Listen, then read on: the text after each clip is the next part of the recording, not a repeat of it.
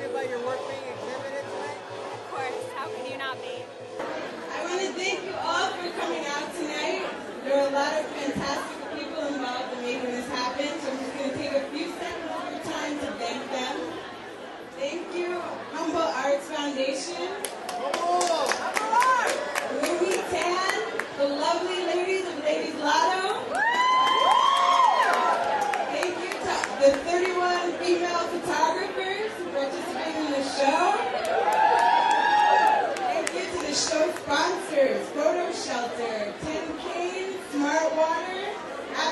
Magazine, Greenpoint Wines, La So Restaurant, and the Peace Tree.